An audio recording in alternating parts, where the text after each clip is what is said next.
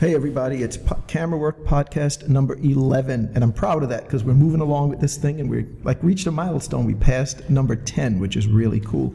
So, my co host, as always, is Ray Tamarra. Hey, thanks for listening, guys. Right. And Ray is a New York based paparazzo. Is that correct? Uh, yeah, working photographer in New York. Anything and everything I can shoot to make money. That's what I'm doing. right. And then we're also joined by Pete Monsanto, who was on episode six. Is that correct? That's correct. Episode six. Right. And what is it that you do? Um, I'm a photographer who shoots mostly music, um, a little bit of everything, but my heart and joy is in live shows. Right, live concert photography. That's right. Right. So we have a couple of topics we're going to talk about, and we're going to be joined by someone later on, someone that you brought to the table when I invited you back to the podcast, right? So we have a guest coming on. He is. Uh, it's my cousin, my first cousin, Kevin Turner. Uh, his name on Instagram is Turn One, and he's done something pretty remarkable over the past, I would say, month or so with uh, Instagram. Instagram, and Right. uh, So I'll we're be gonna- excited to tell you guys the story. Right. So we're going to bring him up in a couple of minutes. But the first. Uh, let's first just run through what happened in the previous week, or really, it's been about three weeks for Ray because the last episode I was in Portland, Oregon, and I did the podcast with some other people, and then I did one with my wife. So, Ray, anything happened in the last two weeks or so, particularly in terms of personal work, things that you've done that have not been geared towards getting a paycheck? Uh, no, not personal work. Um, basically, it's just been work. And uh, this week I shot Taylor Swift coming out of the hotel. And um, I also shot people from the Bible, which is one of the biggest shows now. Um, and they were at GMA. And um, I was just thinking about my photography, how to better my photography. And I'll probably talk a little bit about that later. Right. And it was funny because I told you Chris Brown is coming to BET tomorrow because to me that's a big shot. Like at BET, that's A list. That's like Chris Brown, Drake, Nicki Minaj, Rihanna, right? That's A level. And Ray's just like, tell me when Taylor Swift's going to BET. Like, I don't care about Chris Brown going to BET. I, I want to see Chris Brown with his shirt off, breaking windows, or crashing a car, or doing something. Right. We shot him playing basketball after that incident, and that was cool. He was a real nice guy, but you know, just a lot of the things. I used to shoot a lot of rappers and a lot of R and B cats, but they just don't make me money like Right. I remember he told me, I'm not going to name the artist because I don't know if Ray wants to name him, he can, but like he's got all the gear on the street and he's looking for, you know, like the A list celebs and he runs into an artist, hip hop artist from the Bronx. And the guy's kind of like, hey, you know, like he kind of recognizes Ray. He's like, hey, you going to shoot me? And Ray's just kind of like, I don't really want to shoot you. I'm not gonna get paid for every time I press this button. Yeah, it's like I just I'm don't need another shot of him. And even if you shoot just hip hop, there's guys like like Juelz Santana or Jim Jones, Right. like they're just always in front of your camera, and you shoot it, but you're kind of going to yourself like, how many shots do I have of Juelz Santana over the years with the mm. bandana on his head, and it's just not something that you must must nail, Right. You know, Right. it, on top of that, it's not it's not necessarily that because there's shots that you pass up. Like I, there was a fighter. He was going to be shooting Floyd Mayweather, and I passed the shot up because I didn't know who he was, and he just didn't stand out. But three days later, this man took a gun. And tried to pass it in his bag through the airport. And obviously, if I had that shot, it would be making me money now because it was him doing something foolish. right? And that's, but you're I- very I good at. that shot. But you're very good at knowing who people are, like compared to me, especially like when I'm hanging out with you, you know the people and you do a really good job of keeping track of like who's hot and who needs to be photographed. I mean, just like with anything, it's just about your job and preparing for it. I wouldn't say I, I know everything. I just know certain things that I need to work on and um, just being focused on that. Right. So, Pete, anything in the last couple of weeks that you shot, particularly, actually, it could be personal or professional, either one. Um, I didn't really do any uh, concerts, which was, you know, uh, we had a few artists in town. Uh, Schoolboy Q was here. I think ASAP had a show within in the past couple weeks or so, and I, I opted not to. I've been taking a little bit of a backseat, preparing myself for uh, summer, and I know I'm going to be pretty active then. But just recently, as we discussed in the last podcast, well, afterward, I was telling you because I have a regular job, as we discussed in the last time I was here. I'm funding my own studio. So for the Oh, that's two cool. weeks, I've been buying lights and trying different things and eavesdropping on you and what you do and Right. online. And you're getting um, Elinchrom, I believe. Yeah, yeah. I got I got a set of Elinchrom lights. Um, I'm buying different things and just trying different techniques to learn how to use my lights and um, just be better at it because I I'm it, although I feel like I've got a good handle on it, you could always be better. Right. You know and um, So those that's- Elinchromes are like amazing lights. That's a really good choice. light, dude. I have them. Yeah. It's, it's like a little case, and it's almost. I, I think I have textbooks heavier than both the lights. Right. It's amazing. So That's um, I've been enjoying the past couple weeks, just um, spending all my money. Right. well, for spending money. Well, for me, um, I talked about it a lot last podcast. So I'm not going to spend too much time with it. But I've been working with this friend of mine who's an author, Mitch Jackson. He was on a podcast last week and on a previous episode, and he has a book coming out called The Residue Years. So we went to Portland, Oregon. I spent about four days there. Lost a ton of money, missing BET shows and other things. Isn't that great? Oh yeah, don't you you're love doing that? stuff that's passionate, and you. you It, it's unbelievable. Yeah. And I got a call for a studio rental too, one of the days that I was gone. And I went to call Medina, who was on one of the podcasts, my assistant. She's in New Orleans, Right. you know, and I just texted her back. I texted her and I said, worst assistant ever. Like, this is you're, where you're so fired. play though, she would have definitely. The problem was the rental included gear, so I needed someone not to just kind of babysit the space, but someone who could technically make this the rental work. Yeah. Someone who could set up a tether and do the lights, and Medina could do that, but my wife was not able to, to you're- do that. starting- so, plus, you know, she works. She's not going to take a day off to do the rental. She's just not. So, I lost the rental. It, it, it was such bad timing, Yeah. but I, I love the project he's doing, and I won't spend too much time on it because we did talk about it on the last podcast. But you know, we went to two different jails, and I've never oh, been to a jail, and no. you know, it was I just on the inside.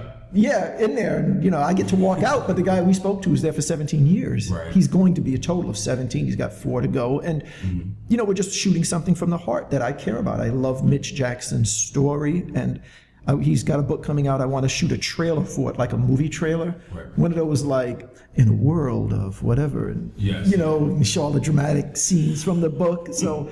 I, I want to shoot that again, not really a money gig, just something I want to do. So Right. I, I'm pleased with that. So that's that was the most interesting thing for me in the last couple of weeks. But again, it's on podcast number ten if you want to catch it. But the first thing we're going to talk about before we get Kevin out here is the idea of upgrading equipment. Oh, and I, I really want to break down how this process works for me and see how it works for you guys because there's times we upgrade and there's times that we don't. And I've got these criteria in my head, and we're going to kind of just run through that, okay? Cool, cool. So, for example, so if you take Ray, you were you were shooting D2X, correct? Mm-hmm. D2X and D3s. Right. When D3S came out, you did not move to the D3S, Nope. but then you moved to the D4. Right. However, I had the D3. When the D3S came out, I moved to the D3S, and I did not move to the D4. So you and I took a pretty different upgrade path. So what caused you to skip the D3S, and what caused you to take the D4? Um, when I'm what I usually buy my cameras a year after it's released to work out all the kinks and also to get my money up. I mean that's the big thing. So by the time I was ready to, for the D3S, I knew that the D4 was going to come um, around the corner. So I waited for the D4.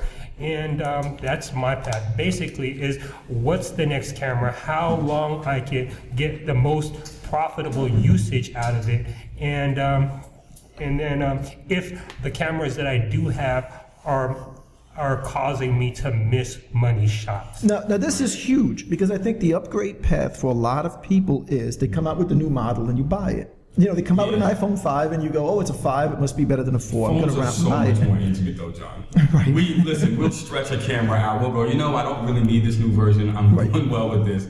Our phone is a little bit different. Right, but the thing with the phone too, I think, is that everyone's conscious of whether you have a five or a four. Meaning, like if you pull out your four, which is what I'm on, the 4S or whatever, Yeah, like the iPhone, everywhere, everyone who sees me knows I'm on the four and not the five because everyone knows what the new iPhone is. Um, Come closer to your mic too. Yeah. But when you're talking about a camera, Mm-hmm. you know, your clients don't really know if you have a D3 or D3S or a D4. Nobody cares. And a couple of photographers may know, but you know, there's a bunch of guys running around with like D800s. There's just so much variety in the cameras that Right. it's not as noticeable that you didn't upgrade. But the way you really should upgrade is what Ray said if you're missing shots, if there's something wrong with the gear. So, for example, Ray and I were both on the D2X. Mm-hmm. The D2X was terrible at low light. It was, Really? oh, it was, unreal. Canon, Oh, wow. Canon had great low light when Nikon had the D2X. We couldn't go above like 800 or 1,000 without really noticing. Yeah, it was worse than grain. It's like a smearing of detail. What year was this? Not that long ago. probably 2004. 2004. yeah, Okay. this feels like it was recent though. But so when the D3 came out and it set an entirely new bar mm-hmm. because all of a sudden the Canons weren't as good as the Nikons. So if you were a Nikon user, yeah, you really should have gone from a D2X to a D3 without a doubt because it was a dramatic a dramatic difference in what you could do photographically. Like I've shot BET from way back when I was on a D2X. I wasn't the house shooter, but I'd go periodically. Right. When I look at those pictures, a lot of them were done with the flash because I couldn't go low light. I couldn't go high ISO rather. Right. Now, since I got a D3 to the D3S, I don't do anything with the flash at BET hardly. It's all no no Yeah. flash because I can go to 3200 if I need to. Right. Something I literally could not do on a D2X, mm-hmm. and I think that's a a smart way to upgrade, right? What's the last upgrade of gear you made? Would it be the lighting, Pete? Um, it would be the lighting. I'm actually as soon as I'm done with everything for uh, the studio, which would be in probably I think the next three weeks, I am gonna have to upgrade my bodies, and I'm going to the Sony A99. Right, and you're on the Sony system, which I personally think is smart. Not a lot of guys use them, but Yep. there are a lot of guys who just kind of fell into a system and they don't really look elsewhere. And Ray's probably in that category where like Ray is not as much of a gearhead as I am. Like I sit and I'm on these blogs, I'm reading about the gear and I'm looking at the pictures. You know, I tend to know like what the new body is from Canon and Nikon and Sony, but mm-hmm. like Ray isn't that. I don't. I don't care about um, other people's bodies. I don't care about other people's phones. if my phone didn't break, then I wouldn't have um, gotten a new phone. I was at an Android, and I wanted to try. Uh, iPhone and I drive a car. See, I'm not really pressured by m who what other people do. I drive a, a Right. 93 hoopty truck and a 91 uh, Max. Uh, no, a Camry. So Right. it doesn't matter unless it's about making No, money. but see, then but see, this part is huge, and this is really one of the main things I want to talk about when it comes to upgrading. Is exactly what you said about what other people are doing and where this falls into place. Yeah. Say it again. That. Which one's black? This one's still going? Okay. What chocolates? All right. So, Okay. So in terms of in terms of making the upgrade, in terms of what other people are doing, the issue becomes how important is that? And I have a kind of spin on this that I want to. It's going to take a minute to explain. Okay. Right, So, go for it. if you look at, I use a Leica M9 for a lot of my personal work and a mm-hmm. lot of my professional work. Mm-hmm. And there's a lot of things I like about it. There's a lot of limitations to the camera, such as you can't focus close. The closest you can focus on any Leica lens is like two and a half feet. It's a huge um, problem when you're shooting, at least for me, because I can't get as close as I want. If I can touch you, I can't photograph you. That's my rule, because I'm too close to you if I can touch you. So I'm always kind of touching, or not really touching the subject, but kind of sticking my arm out to measure that distance. And it's always like a foot and a half further away than I want to be. It's a big limitation. It's hard to shoot action with the M9 because you have to manually focus it. Yeah. So you're missing any shots of people moving around and You don't take the lens off M9. It's just fixed. To no, no, no. It's no. I've got a. I have a 21, 24, 35, a 50, a 75, and a 90. I've got Probably like six cheap with lenses. like maybe a 75 or something. If you See, but he's To do what? You're saying? He, he he's so enamored with shooting close. Like if he if I was working with John, I would physically get in a fight with him because he's working too close. Like he's crowding the space so much and Right. blocking the shot from other people. Right. Like we have 10, 15 people trying to get a shot, and if there's Right. one guy that's right next to him, Right. that pretty much eliminates. But 10 fortunately, I don't shoot that much with other people. Like at BET, 70, 80% of the time, I'm the only person there. And even when other shooters are there, I get these moments where like I can shoot and they can't because they've got like a press guy and I kind of get this free reign. Then I shoot a lot in the studio. So, uh, but like you say, yeah, I do tend to shoot really close and I love wide shooting. But, but I'm not getting what you're saying, Pete, about the 75 millimeter lens. Well, I mean, if like you're saying, you can't shoot as close as you want, Right. And because of the focus, but if you just go from let's say the 20 to a 75, you can get a tighter shot. No, the tight shot isn't the issue. It's more a matter of perspective. And even again, even with the 75, you're two and a half feet away, and you, you just it, it's very limiting at times. And again, and you're limited by the fact that you have to manually focus. Yeah. So those are limitations I understand with the camera, and I'm fine with those limitations and some of the other limitations. They don't bother me. I work around those limitations, and I did a video called "Understanding the Appeal of the Leica M9," where I went into detail about how a limitation can really help you sometimes. So that's not the problem. Now, when you get to the M9, there are other problems that are not fun problems.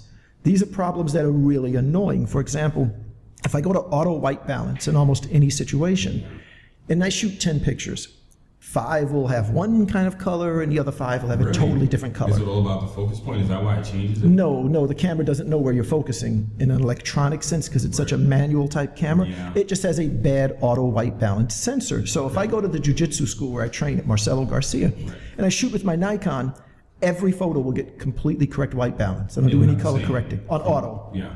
I bring out the Leica, the first three are green, the next one's blue, and then they're back to green, then they're blue, then they're green. And I'd be fine if they were all green, because I can correct that. I'd be fine if they were all blue. But when they're constantly changing, mm-hmm. extremely frustrating.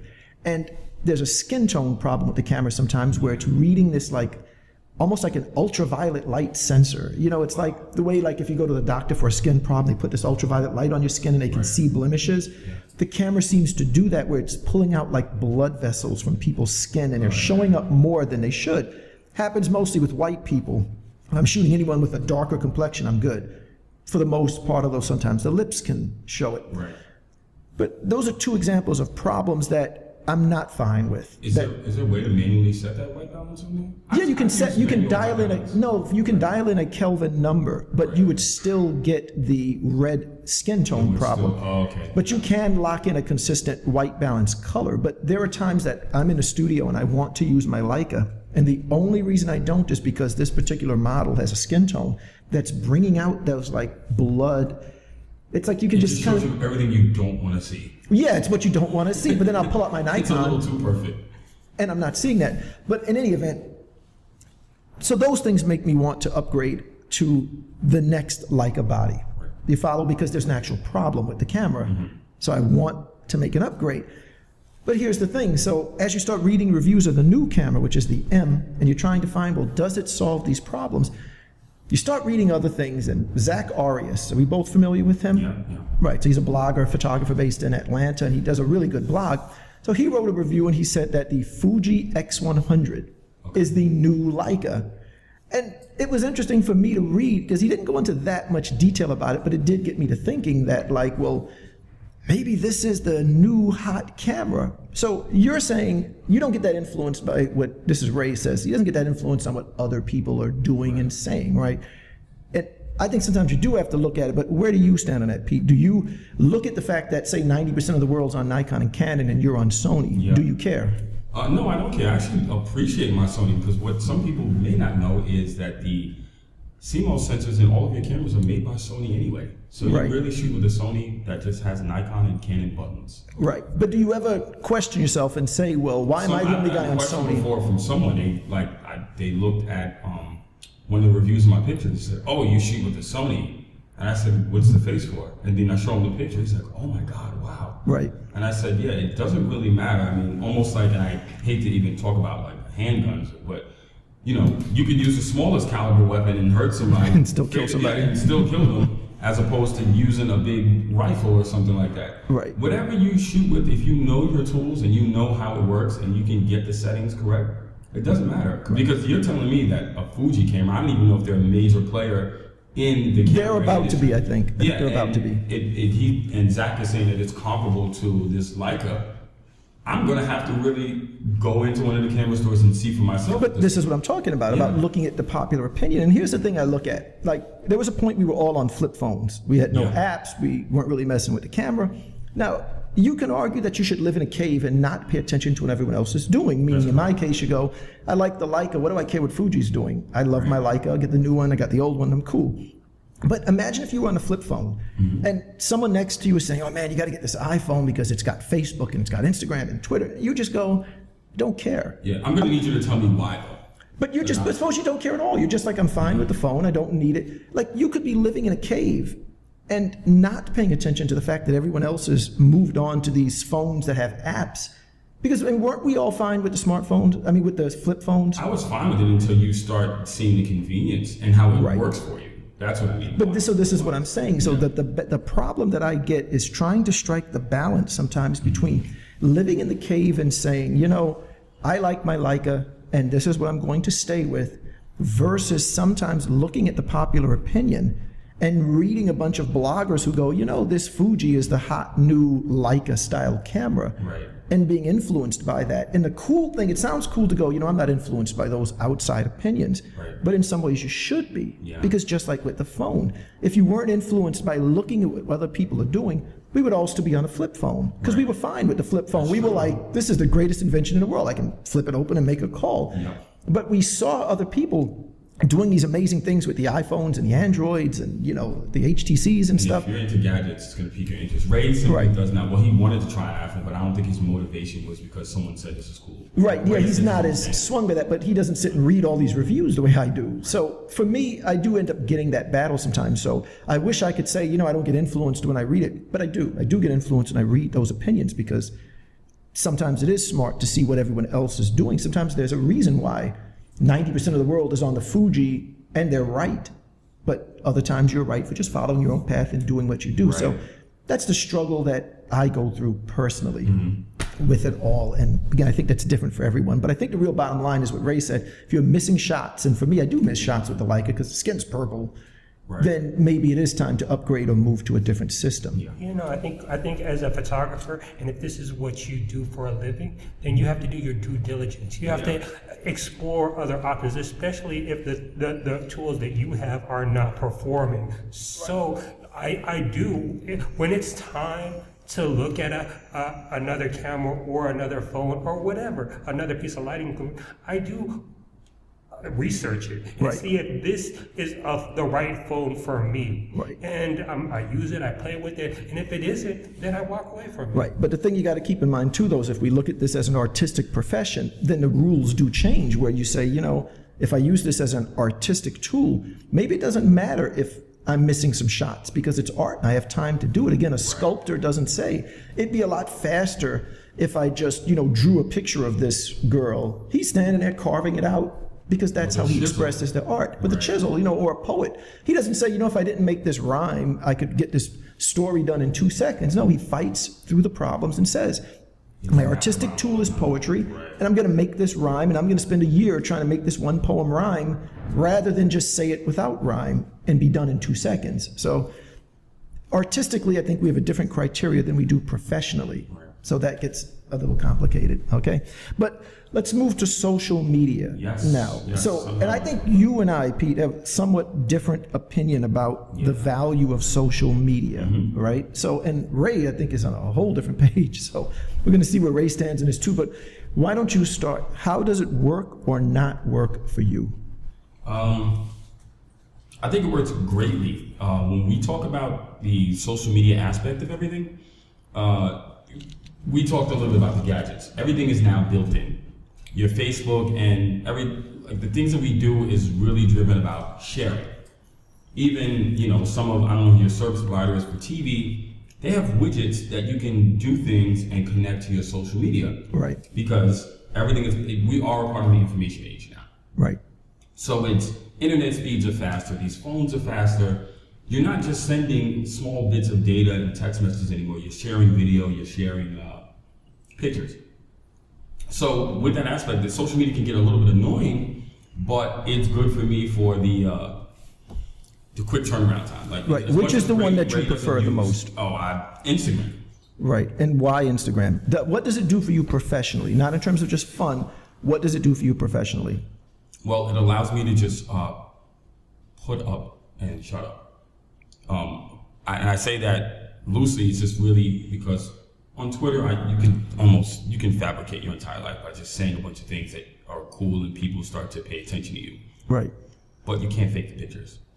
You know what I'm saying? So if I'm somewhere and I'm doing something and I'm photographing, I put it up on Instagram, people can see it. Right, but the part, but there is a part that can be faked. For example, like a lot of times I'll follow people that I meet. I kind of like the idea of I met you one time and then I follow you forever and just kind of keep track of what you're up to. And sometimes I'm doing a shoot with a model that's not a so-called real model. She's not really making money. And you watch these girls posting on their Instagram every week. They're showing another shoot, and they're there with the lights and the makeup and all of this. But it's not real in the sense that she's not doing a shoot that's getting published. She's not doing a shoot that's generating any money. There's no real client. It's just some dude who bought some lights, photographing her in a garage, whatever. And she can present it on Instagram as if she's a real model, really making money. And you can fake it. Like I can see through it, but how many That's people the- are following her thinking, oh, she's a model? Like you're not really a model. You're a girl who created this fantasy on Instagram. on Twitter, you can really talk it up, and people can't see through it Mm-hmm. because it's just words. On Instagram, you can see through it. You know, you know what? This chick's a little bit of a half-ass. She's not really who she says he is. For you, I you put up some of your snapshots from BET, and you say, "Hey, I'm here now. This is who's on the show." Right. You can't fake that. Right. You can't see through it. You're really standing there. Right. And you're really doing this Right. for so in that way it, the instagram the buffer includes well there's a lot of things you think you can fake but most people don't Right, but there's another element that bothers me, which is mm-hmm. this element that it should be a two-way conversation, mm-hmm. and I disagree with that photographically. I don't mind it as much on Twitter if I'm just because on Twitter I might just put like a funny thought and just write something because like last night they had that Charlton Heston Ten Commandments Very movie. funny on Twitter. That's a funny movie. I might have thought of something funny and posted that up there, and I like the back and forth interaction. Right. If I do that, but on Instagram, if I'm a photographer, Mm-hmm. I'm looking for an audience to look at my pictures. I'm not necessarily looking to like look at your pictures and have this sort of dialogue. Like I'm liking your stuff and you're liking mine, and maybe it's snobbish, but I just look at it like a comedian, a stand-up Yeah. comic. Is he supposed to do his set and then walk off set and now listen to the audience's jokes and laugh at their jokes? Like he's the comedian, they're the audience, and. I'm- and that's why i brought kev with me today because he's definitely going to talk about Well, yeah, he. We're going to get to him because Yeah. when I saw his ratio of followers to following, it. ridiculous it's insane. And this is another thing that bothers me, which, in my opinion, falls a little bit in that category of faking because you can get a lot of likes on Instagram Right. if you follow a lot of people. Right. You know, if your ratio is kind of 50 50, meaning 1,000 people follow you, you follow 1,000 people, and you like a whole bunch of pictures in the course of the day, then you're going to generate a lot of likes, which to me shows the flaw in the system because people are liking your shots because you like theirs. They're not just um, independent. Because if you didn't like their pictures, if you didn't follow them and did not like their pictures, you would not be generating likes. yeah So, so again, you take my Instagram feed. I don't really like anybody's pictures. No. I just don't. I just just whatever. funny comments under my stuff Yeah, I you're one of the few welcome. people I comment on because Yes. you write stuff that's funny, and then I end up coming back at you trying to make a joke. and it's good Right, but my wife, my wife probably has like a third the number of followers that I do. right Any picture she gets, she puts up gets way more likes than I do, yeah and I've got more followers than her. The only difference between us is she likes a lot of people's photos, Right. and she has a conversation with them in those likes. Right. And I don't. I throw the- my the content up, and that's it. the interaction on Instagram is through the likings and the comments. Right, Whereas which- on Twitter, you feel like you're talking directly to the person. In Instagram, you have I am talking direct because you still act in the same way. Right. It's just through the picture, either about the picture or something you said. Right, but I don't. Again, just for me, I feel like a stand-up comic listening to the audience's jokes. Yeah. Like I might be kind of curious to see this person that I came across, a model, makeup artist, whatever, Mm-hmm. and see what they're up to. But I just don't feel a need to say I like the photograph because I Do don't you really. just not like anything? I just don't. I just kind of skim through it. I go on about my day. not I don't like, stand do, you, do you really not like it? But It's just photographically nice. as photographic art. No, I don't like the pictures. I might want to see them, but as photography, no, I don't. They're not great photographs all the time. It's just, oh, this is what he's up to. This is what she's up Okay. to. But I just have a problem commenting you know and they're gonna liking think you're a it. snob after this. I know they're gonna think I'm Okay. snobbish. I get it. I believe it. But so Ray, why are you virtually ignoring Twitter and Instagram? Because when, and Facebook, it's because when I see pictures of other people doing stuff, then I get jealous because I'm not doing it. So I want to, I want to live the life, the most guy. interesting life. So I don't want to follow other people and be jealous about that. I want to be out there, and being out there means not being at the computer. And I love your honesty there because I feel the same way very often. And when I try to explain it to like my wife or to certain people in my life, sometimes they'll look at it and go kind of like, oh, like you have this negativity inside of you and it's a problem. And I acknowledge that I can be negative at times and it can be hurtful. But one of the ways I explain it is if you think of a woman who's trying to have a baby and she's going to fertility clinics and she's trying all these different methods, whatever. Okay, she doesn't hate other women who have children. However, she may not necessarily want to go to the park and sit in the room with a bunch of women who are taking care of their baby and pushing them on the slides and the swings. And that's how I feel. It's like it's like you said, I don't hate the fact that you're in Miami photographing Kate Upton. I just don't necessarily want to spend my time looking at it because that's what I want to do. So Yeah. I'm, I'm with you on that, and that is we something. all look at Kate Upton though. Let's just be honest. right. And then, um, besides that, I, I think that for me, everything has to, and it maybe I'm dogmatic and just focused, but for me, posting my photos don't make me money. Maybe because I don't know how to make it money. Like I've been part of the internet. If you know my history, then I've done a lot of stuff with the internet. I've started communities, and that's how I got started in photography. Right. You actually had a site called the thecrusade.net, which was extremely popular. It was like a message board, and you were really one of the first people that was showing party pictures because there's a whole thing now of these sites like where to party at.com. Like you take a picture now, and people go are like, "Well, what site is it going to be on?" You were really one of the first people who had a website that did that. And you would shoot like groups of people at parties and get the name of each person and then email each person the link to the picture. It was a tremendous amount of work. And you really were one of the first people doing that. Now it's huge, but Yeah. you, you killed Yeah, the site no, at some point. basically pre. It was like a pre-Facebook and and but I didn't know how to make money off of it, so I transitioned to something that I can make money. And for for me, I can make money taking pictures. I Hmm. c- I can't make money liking pictures or following other people's. Um, feeds and and and I I readily admit there are ways to make money. There are people who are making a lot of money, like a person that I know um, that started another site is making like twenty grand in advertising. That's Wow. not me. So if if I can't do it, then I'm trying to figure out how I can make twenty grand on my own. Right. And um, and just taking it from there. And it's not with Instagram. And until I can learn how to do that, Right. then You just you know, I'm not- not really. It's like, who cares? Honestly, it, it, Right. for me, it, it does work. People see the pictures and hey, uh, I want to do a shoot with you. What's Right, your but see, email? one of the problems I have with that though is that Yeah, people mean, spend a lot of time on Instagram or Facebook or whatever, Yeah, and use yeah, that. and they do get work from it. But the thing is, is like again, if you spend six days a week at jujitsu, you're going to get work from there too. People are going to be like, you know, hey, you, shoot. I got a wedding coming up or whatever. What's you know, a jujitsu? Someone, I mean, like you obviously you care about it. Right. What's it going to pay you? Now, granted, your shots are great.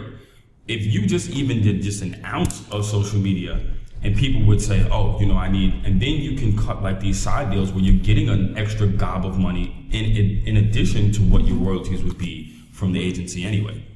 Right. Just one last point I want to make about social media before we bring in Kevin. Just one last point, though, that kind of irks me when I say about people faking it on Instagram and Twitter and Yeah. why it bothers me is so last week I had a guy named P. Frank or Frank Williams on the podcast. This is a real person. Like he he produces um Unsung for TV One, which is a cable channel. He produced American Gangster, that a lot of us have seen. Great show. Wrote some books. He actually wrote a book about the Snoop Dogg murder trial. As I was talking to him in the car one day, I ordered it on my phone right away. I'm like, I got to read this book. Like, Right. and he was uh, East West Coast editor of the Source magazine. Like, he's not on Twitter. He's not on Instagram. Right. But he's a real guy, really doing stuff. And again, sometimes these people who seem like I'm so busy, I'm so busy posting all this stuff on Instagram and Twitter. They're nowhere near as legitimate as a guy like that. I understand, and I'm totally because you can fake it there and some people who are very successful are not wasting time on it. So that, that's just some of the battle i get. Okay. but let's bring in kevin who is doing something really interesting on instagram and twitter and let's understand who he is and what his story is and so on and so forth. Why don't you set it up first Pete, Okay. and then we'll let kevin talk.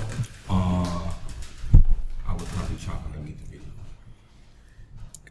Go so kevin tell us a little bit about what is it that you do tell us first where we can find the instagram feed and where can we find the just where can we, what is the instagram name and just tell me what it is that you do and Well- how you get started My Instagram feed is on uh, Instagram.com slash turn one. spell that for us Uh, T uh, T U R N O N E.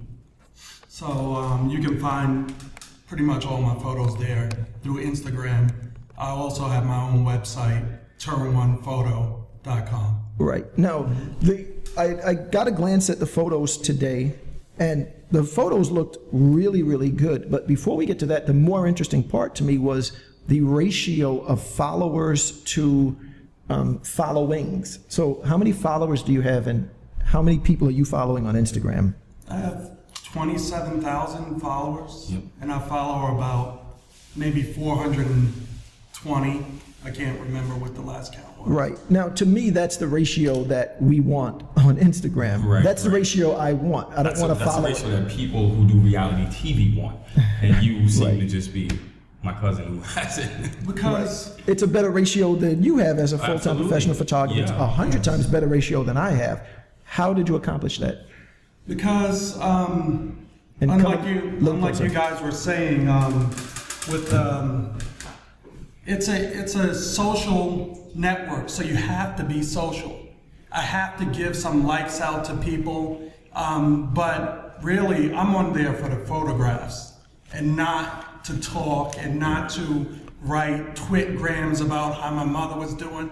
I'm all about the image. Right. Right. Um, What- let what me do you bring do? you closer to the mic. What do you, what do you actually do? Um, what's what's your normal day? Are you uh, all about the photos? Do you have a regular job? Like what?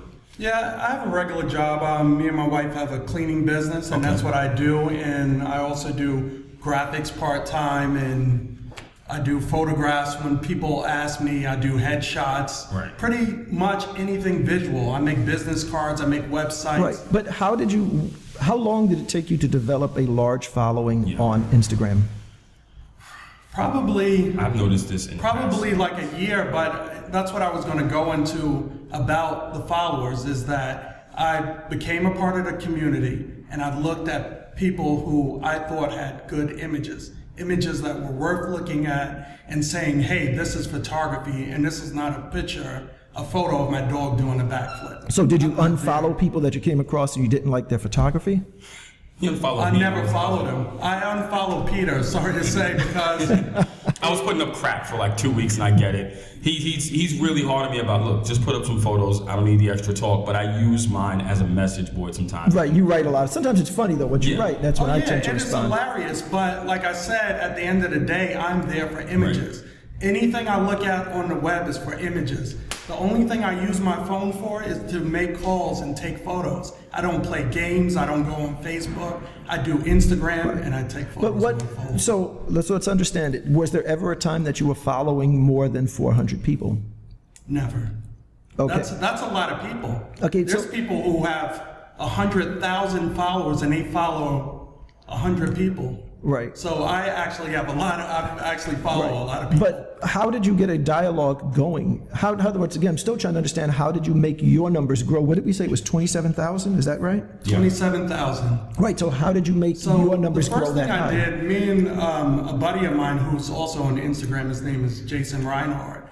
We started a group called Just Go Shoot, and what we did is we weed through the garbage and show you the people who have good images and no followers. Like if you had a bunch of image, a bunch of great images, 200 great, great images, and you only had 50 people following you, we, we give you some exposure to let people know. And through that, people started to know me for the person who exposes people. So I got a lot of people coming to my page telling me the great things I'm doing. And then about the lot of followers, the way I got the lot of followers, Instagram themselves noticed me. Right. And they made me a suggested user. That means whoever visit Instagram, I'm suggested Or to those started a new people. page. Right. I started a new one, and I see it say turn one, and I'm like, holy crap, that's my cousin. Right. Right Yeah, there with. Oprah Winfrey and In three days, Right. he was. Um, I looked at his following and said he's got 11,000 followers. The next three days, I started an, an additional Instagram page I'm going to use just for work. I haven't done anything to it yet. I looked again; he had 23,000 followers. So he 10,000 followers in a matter of three days. Because Instagram is pushing him. I had 3,000 to start. man. Right. But um, how how many shots are you posting per day to Instagram? Anywhere from one to three at the most. Right. That's not a lot. No. Right. But I, I I look for quality, not quantity. And just putting out a good image. Don't don't have a whole bunch of say on the bottom. Just your image will speak for so itself. So you tend to not put a lot of commentary at the bottom. No, I just maybe a poem or a hip hop verse because I am hip hop. Right. So I tend to put that or, you know, just maybe something small, but I don't mess around with too much writing or candid. I don't take a lot of, well, the iPhone is based off of snapshots, but I don't take a lot of pictures of my daughter or my dog or my grass outside and Right. breakfast. So let's talk about the shooting process for you, because you use the iPhone exclusively for the photography. Yes. Right. Do you tend to capture it using the native camera app, or do you capture the images using an actual app? I use an actual app called KitCam. Right. And KitCam, you can adjust spo- exposure, lighting, blah, blah, blah. Now, the iPhone takes great photos right off, but box, yeah. with this, I can actually control my light more like if I had an SLR. Right. Right, I use shadow KitCam as problems well. and light problems and you Right. know, I still like find it's a little buggy sometimes. Like you, you slide that exposure to increase the exposure, and then it like sort of resets itself on mine, and it isn't adjusting the exposure properly. So it's a little tricky for me at times. I think it's like with any tool that you use, you become used to your settings. You know, as soon as you get into a certain concert, it's no flash, Yeah. and the lighting is like this. You already know what to go to. You're hitting the f stop. You're hitting. You, you got it. You're a photographer. You know what you're doing. You came Right. to shoot. And Right. That's pretty much how I feel about that. Right. Now, how much editing are you doing in post? What are you using apps to edit the stuff, or are you normally posting it straight out of the camera? Uh, sometimes I can do a straight raw photo, but most of the time I'll use Snapseed to crop the photo to Instagram size, and I'll do some like color adjustments, and then I might, if I want a certain look, like like a Kodak film look, I might go for a VSCO cam. That's another app, and they Right. also make an app for aperture.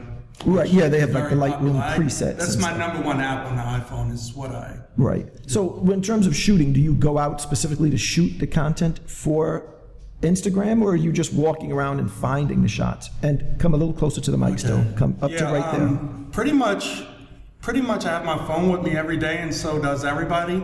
So I'm always shooting, Right. and when I'm not shooting, sometimes I do meet people to go shoot. Like today in New York, I'm going to meet a group of people, and um, And how, tell shoot me about this group. Where does this group come from?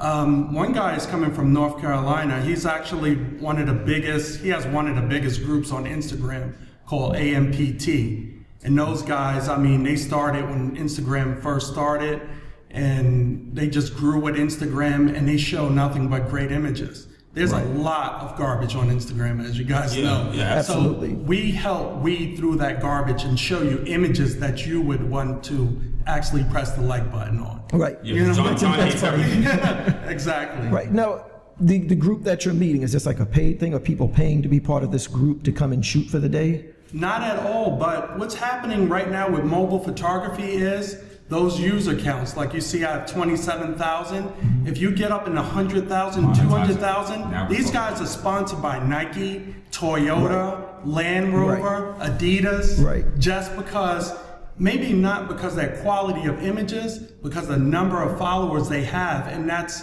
300,000 people reach you're selling a car to. Right. Right. It's a big commercial. If you're doing something for um, a hair care product, because obviously you're known for like hype hair, Right. and then you start to, I'm gonna take a snapshot and put it up on Instagram, and then whoever the hair care product is, they have a large following, they start to promote you, then you have a, a group of people looking. Right, that- well, Then once see- it balloons, Right. you're getting monetized to say, we're gonna send John with his camera Right. to go cross country in this Toyota car that we're gonna give him. He's gonna take a few snapshots of the Toyota, but we really want him to do what Right. he naturally does, Well, which is see- personal work Right.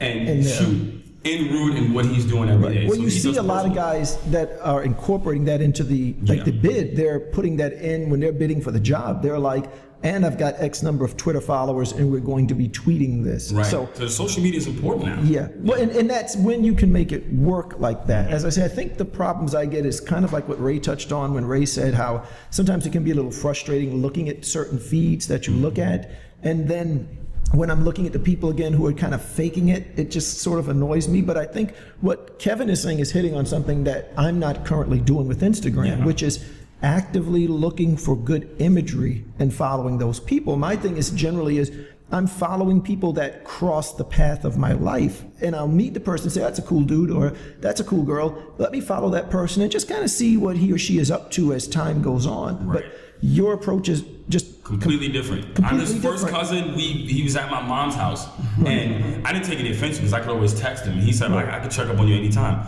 But he unfollowed me, and I knew Right. why. But it was Right. almost like you know part of my language, and a little bit of an ass whipping to say, Pete. Right. I Step know you your write game poems, almost. and, yeah, you know, Right. but you're gonna have to give. That's because I know the image that he produces. If he was Right. just my cousin, I would have probably just unfollowed him and that would have been it. Or maybe I would have kept him and never said anything, but I know what he does, so at least give me half of that. You don't have to Right. give me your professional work, Right. but give me a personal side Right. composure that I know you can do. Right. But believe it or not, I feel like Ray does about social media. Mm-hmm. I just happen to like Instagram because it's photos, and that's what I do. I like Right. images. But you go to people that you find have quality images, and you don't want to follow any any bull. Really, it's more or less. I, I, I'm interested in seeing what your feed looks like. Yeah, I'm gonna go see who he is following because I think that's an interesting thing to look Yeah. at. But again, my thing is always like, especially if I'm in another state, like I was in Oregon, whatever, a week ago. So if I meet some people there, then I just think it's something cool about like I'm never gonna see this person again Right. because I don't think I'm going back That's to okay to Oregon. shoot people. Two accounts. Right. Uh, please, I barely checked the one I have. But it, you know, if you're looking to work that account to your advantage for to Right. make money or You to just monetize get it. exposure, then two accounts is always the way But to does go. it benefit you at all interacting with the people who are taking good photos? Does that make a difference in your followings increasing? I don't think he does it for the. Not to answer his question, you asked. Go on, him, no, go on. We talked about this. I'm not necessarily sure that he does it for that, and I picked his brain a lot. He owns a cleaning business, so this is 100% focused around what we talked about when I was here last time: the personal work and how the personal work can turn Right. into a situation where it balloon. And I was on the phone. I'm like, Kev, I didn't. I didn't foresee this. You always said mobile, and I didn't fight it off. But I'm just like, come on, an iPhone. Right. But then you see this following, and like we talked about the rappers, how they monetize everything. Right. He's not going to say, you know, I'm going to make an approach to um, Converse to make me a custom hoodie. Right. If They're it happens, see that hey. and go, you know what? Right. We like what you're doing. We love your your perspective. We want to give you ten grand. You can Right. still keep your iPhone, but when you carry things around, we want you to just wear this. We these want you to do what you do. Right. I don't want to do what they do. Right.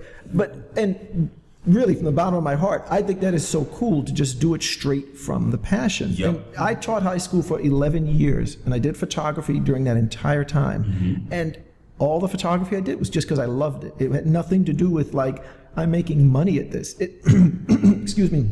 Making money just meant nothing to me. It was just, Right. I love shooting. I love playing with the toys. I love creating. I love going to these different places. I love getting the stuff published, seeing it in a magazine. That was the only reason I shot. And then after 11 years of teaching, I left teaching to become a photographer full time. But it was never motivated by, I can make more money in, te- in photography than mm-hmm. teaching. You know, so I did exactly what you were doing, which is just I photographed because I enjoyed shooting. And I think that's a beautiful thing. And when we talk to Ray, like with the personal work, Ray gets so focused on like, if it doesn't make money, It's about the money. yeah, I don't care. But And Ray could monetize himself the same way. no, did. but I just want to see. No, but what I want to see from Ray, and I know Ray can still hear me because he's still in the room. I want to see Ray shooting some stuff from that passion, just out of the And passion. it will be unbelievable when it when it comes out because, Because when you Ray's shoot great. with passion, it's just Right. he's, he already knows photography. A camera is like his hand. Absolutely. So oh, yeah. He's a, he's a beast in terms of being able to execute what's in his head. He mm-hmm. can do that, but Ray tends to be a very focused, very concrete, very black and white person. the coldest hustler you've ever seen in your life. Right, and, and like again, and Ray, you know, he'll be a quiet guy a lot of times, Right. and he's just in the cut. But raise cash and checks while everybody else is up on not everybody, not like you, Kevin, but a lot of people on my feed and your feed Right. are throwing up, oh yeah, I'm shooting and all this nonsense. Right, it's- it's crazy. They're not making what Ray's making, Yeah.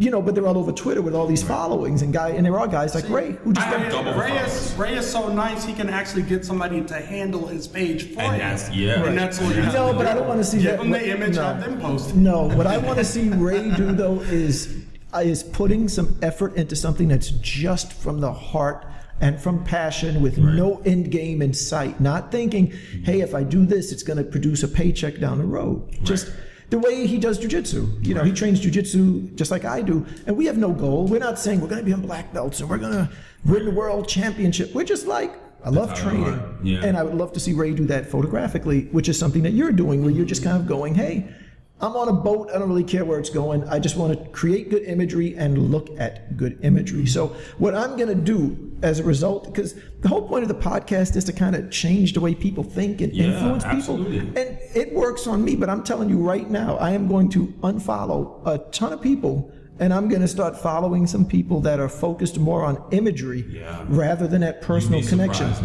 I'm going to see what it does for I me. followed you this morning. By Oh, you did? I hope I- went through your whole gallery, and I mean, if you weren't, if I wasn't going to be here today, and I never met Uh-oh. you, Here we I go. probably would not followed your feed. Right. But you had a couple of images in there that just, it was one of a girl standing at a window. It Right. just blew me away. Yeah, yeah. That's that image is. And you know what's funny about that image? Uh, Let me say something about my feet really quick. But about that particular image, what's funny? I shot that with the Leica, and it's using a seven thousand dollar fifty millimeter Leica lens. They're the only ones. I mean, When he does it with an iPhone. yeah, how funny is that? But the funny, this is what I have to do to, to get a like from this guy is I got to take fourteen thousand dollars worth of gear, and it's funny because you know, as pros, and I'm sure you've done this, we always Yeah. recommend that people buy a fifty millimeter lens because it's dirt The 50, cheap yeah. and it's your fastest lens in terms of letting in light. Yep. And you know they're like 125 bucks, and they're It's a, it's a universal lens. eh? Right, It's but beautiful. Leica, their newest one cost seven thousand dollars, and I got my hands on it at this uh, demo thing they were doing, and I shot that picture of the girl named Mackenzie and stuff. But the thing about my own Instagram feed is, I kind of get mixed as to what I want to post there. So, for example. I don't tend to post a lot of BET stuff, and when I put up a BET picture, for example, it's usually because I have a funny comment to make about it, like an Yes. observation, mm-hmm. and then I don't put like the tear sheets that I get published. I don't tend to put stuff that I think is great. I just kind of get mixed. Sometimes I put the family stuff up. Right. It, like my feed is all over the place. But I, we see differently, John, as photographers. Even if on a walk to BET when you're carrying your gear, you see something. no, no, but If see that's no, no. know, What I'm saying is that in other words, I create those images all the time. Like if you look at my blog, I feel on my. I think if you looked at my blog, you would say every photo there's a good photo. My blog, it's all good photos, Yeah. all pictures that I think are good. excuse me, my Instagram feed though is more all over the place. Sometimes I am just posting my daughter.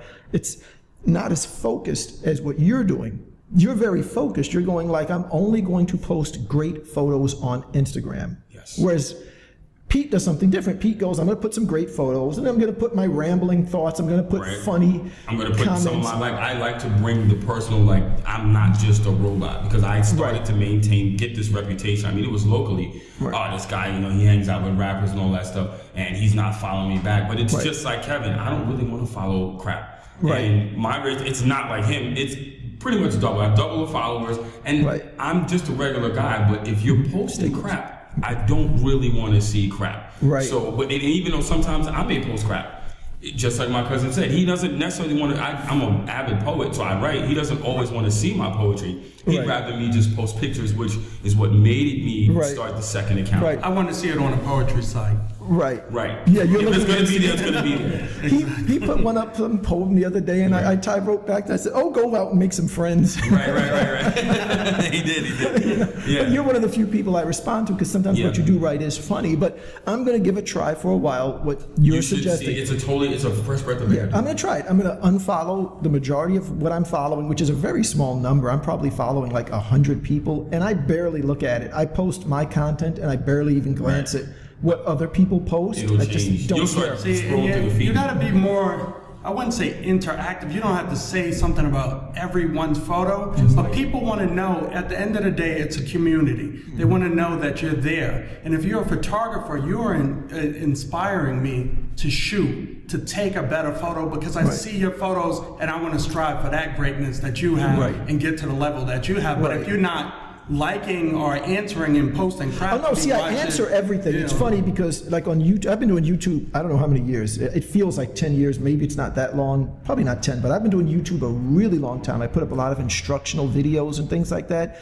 And if you look at my YouTube, I answer every single email that gets posted, mm-hmm. unless somebody just goes great video. But anybody who disses the video, anybody who asks a question, I answer every single one of those. And on Twitter, just about, I would say honestly, completely honest, but 95% of the ads that I receive on Twitter, I respond to. So I definitely do that part of it. It's just, again, I'm following just people that I've casually met who aren't necessarily taking great photos. So then as a result, I'm not liking their stuff. But when people comment on my work, I'm always commenting back. Yeah. So I'm, And I'm another thing that. I did is I just didn't focus on the numbers. I- Right. I, just focused on images, and I feel like anything you do on life, if you focus on your Yeah. craft, on what you do, Right. it will pay off. Right. right. Well, again, I think I'm definitely willing to do that. The only difference is I think you made a distinction that I did not make and that Pete did not make. And the, the crucial difference, in my opinion, in terms of what we're all doing on Instagram is you're saying I'm only going to post great photographs. You understand? And mm-hmm. Pete, again, is kind of going, I'm going to post great photographs, but in addition, I'm going to give you a sense of who I am as a person. Yep. I'm going to be funny. I'm going to show a picture of me wearing a panda ski mask and mm-hmm. just make you laugh. And I'm going to write my rambling thoughts and let you know who I am, which is mm-hmm. nothing wrong with that. Nothing at all, because I think Pete has a good Instagram feed, which is called Uh, it's Fly Life Images, F L Y Life Images. Right. And then on my feed, mine is just something that I don't give enough thought to it. It's just a mix of, like I said, sometimes it's Leica images, which are my real photos that I put up through an Eye-Fi card, like the one you mm-hmm. like. yes. Other times it's the iPhone. Other times I'm trying to be funny. It's mine's all over the place. But I think what I'm going to try for a little while is kind of what you're doing. Just focus it a little better. Focus on just posting good photos and see what that does or where that goes and if I enjoy that. It'll make your feed better. Anymore. People will know who you are based off the personal work that you you add up there. Like I'm not normally a portrait shooter, but I can shoot a portrait Right. with my SLR or iPhone. But that's not my thing. People know I like the streets. I like graffiti. I like hip hop. I like toys. Yeah. So that comes across in my photos. Right. I, I think. I hope. And I'm the exact Yeah. opposite from you because I don't shoot hardly anything that doesn't have a person in it. I don't care about lines Yeah, me and too. colors. I shoot a lot of people. Textures. I people. You know, and I shoot people. I mean, I'm on the subway and I'm as close as I am to Pete now, which is like three or four feet, and I'm photographing people. Sometimes they know, sometimes they don't. And I'm going to do a podcast one day about street photography because most people don't know how to do it. And the, the people part, they don't know how to shoot people, and it, like some people, uh, obviously, you're taking good photos without people, but a lot of people are just cheating. They're not shooting people because they're scared. So the Right. easy route for them is to just go shoot some lines and some colors and some buildings. And I would challenge some of those people and go, "Do you care about that? Like, do you care about textures and lines and signs and?" If you look at You my know. feed, I've got quite a bit of photos with people in them. Right. That's Yeah, and see, yours, again, not that familiar because. I do a I do a mix of if I see a building that I like, Mm-hmm. the way it's shot, it might catch my eye. But really, I like street photography Right. with people. Right. I probably don't shoot as much as somebody who would shoot that style. Right. But it's my. If you had a gallery like that, I would love it. Right. Again, I have it. It's just it's on my blog. Yeah, exactly. It's I've different it. places. It's don't you just take not. blog stuff and put it on Instagram. I would Because- email myself to, to right through the phone. Honestly. Because I always looked at Instagram as being a visual diary, and I tried to some degree right. to do. And if you remember, that's how I do it. there was a time that it was almost not considered correct to put up an SLR picture, you know, on your Instagram feed that you were supposed to use the iPhone. But see, the problem is this: mm. I don't like shooting with the iPhone, and my reason is different than most people's reason for it. Tell them why, John. Here we go. I don't like shooting with the iPhone because I find that it is so easy, it takes the fun out of photography for me. It's as if when I use the Leica, and I talked about the beginning of this podcast, there's these limitations. You can't focus close, you have to manually focus. It takes a long time to take, like, it's quicker to shoot with the iPhone than my Leica. Right. But for me, using the Leica is like being on a motorcycle. Like imagine a guy he's on a Harley, which is a super expensive motorcycle, ridden by guys who love riding motorcycles. If you said to that guy, dude, I'll tell you what, I'm gonna put you in a limousine, you can sit back with a glass of champagne, and we're gonna get you to your destination. He's gonna say no. He wants to ride the motorcycle. he likes riding the motorcycle. So for me, being on an iPhone, it's so easy to shoot that the exposure is always good. It's so fast, it's quiet. You can shoot high up, low, left, right. You can move it so easy. It just kills all the fun of photography for me. I, yes and no. I just believe anybody who says that, I challenge them in low light situations. Shoot at night. I want to see you streak some cars, some some uh, But you know low light as difficult as it may seem to shoot the iPhone in low light, I assure you it's more difficult to shoot the Leica in low light Oh, I- I- because yeah. you're setting shutter and aperture and you're trying to focus and it's dark. The iPhone is an easier camera, for me at least. When I produce iPhone pictures, when I first started shooting with it, I liked, I had a higher like ratio for myself of what I was producing. and and I know I'm crazy when I say stuff like this, but it just kills the fun. It's no fun. I, I totally get your idea, but I I don't agree 100% with it. I understand what you're saying. Any anyone it, it's going to take great photos off the bat, but I don't think any it's because you're a photographer. You already know how to compose a photo. Right. Before before I shoot a photo, I already shot the photo. right, it's in your head. Yeah, it's in my head, so it doesn't matter the Yeah. tool. I, I you know, just Right. See, now, and, is, and I wouldn't suggest that everyone is taking great photos with the iPhone. I, am not trying to say it's a great camera and everybody Yeah, takes it's not, good no, it, it's technical, dude. I, have a, I honestly have a tough time. And he doesn't use just one. I mean, you said like right out of the box that the, the iPhone does shoot with the camera. Until he told me about KitCam and the other things I could do, Right. it's added some difficulty because I'm shooting stuff and I'm inspired by what he's doing. And I'm like, how did Kevin do that? Right. And I'm in the subway. I'm at work, of course, and I'm trying to get it right. It's Right. difficult. I find it a little bit harder in a sense to control everything on the iPhone as opposed to I can go right to my Sony and two clicks I'll just say my last thing on it again. I do a lot of street photography. My the main focus for me is couples. I love to get couples interacting with each other, and I've Mm-hmm. shot tons of it. A lot of it's on my blog. Some is on my main site, but to do that with the Leica, for example, I've got to lift that to my eye and focus. And in that amount of time, believe me, I get caught a lot. People looking at me like, you're taking a picture of us? And now I've mm-hmm. got to either walk away or say, hey, you guys look amazing. You know, let me just get this shot. And I interact with them sometimes. I'm so against people who shoot from the viewfinder on an SLR. Oh, no. Right, but that's it what I do. You have to. Like, what are you doing? But- you need to, sh- you know, shoot from the eyepiece and not the screen. No, right, but that's I what I'm wasn't doing. Taught to Right. Well, way. again, So, but yeah. what I'm saying is though that is such a long, slow process that if I take my iPhone, I can just pretend I'm talking on a phone. I can pick it up for two seconds, act like I'm fiddling with it, and nail the shot. And I've done it on occasion when I don't have the Leica with me, and I see a cool shot. I go, man, I just got to get this one. So I'll whip out the iPhone and I'll nail the shot.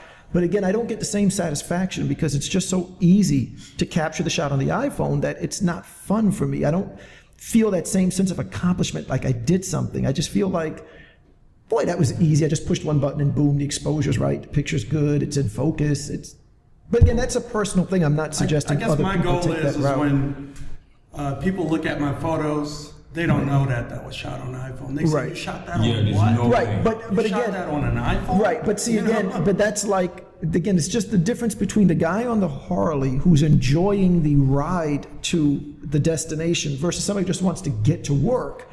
you know, you don't care how you got there; you just want Yeah. to get to work. You, the the point is, I got to work. But for me, it's not about the final picture only; it's about shooting the picture because I like taking the picture. Yeah. So for me, I enjoy it when I shoot it with the Leica. If I shoot it with the iPhone, I just don't enjoy it. It's just I've not been, fun. I've been shooting from a Kodak Brownie right. uh, lately, so you know that's a challenge too. Right. It's an easy shot, Oh, but of it's course, still a that's- challenge. that's extremely you know. difficult, So, you know? uh, Right, just- all right. I guess everybody's different. I Right. just like all different. That's I the like beauty. SLRs. I like uh, Right.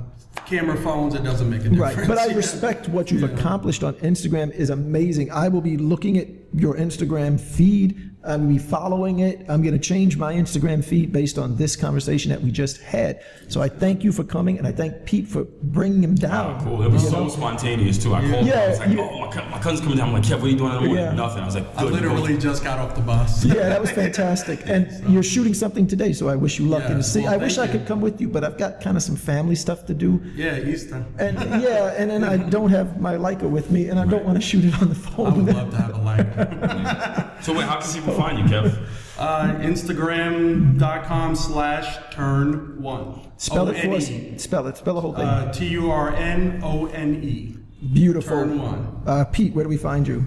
Um, I'm online at uh, flylifeimages.com, and that's F L Y L I F E I M A G E S.com. Also, the same hashtag on Twitter at flylifeimages and Instagram as well. And I can be found in random bars enjoying beer. There you go. and for me, you can find me on Instagram, and I'm going to have this amazing Instagram feed from now on based on this conversation. And you can find that it's John Ricard, J O H N R I C A R D. And Ray, you cannot find Ray on Instagram, Facebook. He's on Facebook, but it's like a private thing. But I'm if you going to want, be running Ray's page. you need to, you need to hook Wait, up we're with gonna Ray. talk. We're gonna talk. We're gonna see if we can Right.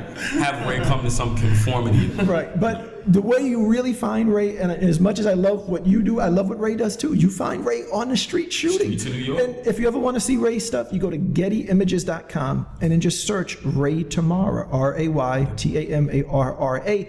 And it's like you're going to see more celebs from like one week than most of us have shot in a month. You know, Yeah. because again, he is out there a lot, and I respect that as much as I respect the guys who shoot it without making money because I've done both. I shoot for money, I've shot without money. I love it all. All right. Yeah. So thank you guys for coming Well, on, thank and you um, for having we'll me. probably have you back at some point. So Yeah, you know, you come thank you, and you. Pete will be back at some point, and we'll see everybody later on. Thank you for listening. Thank you. Have a good one.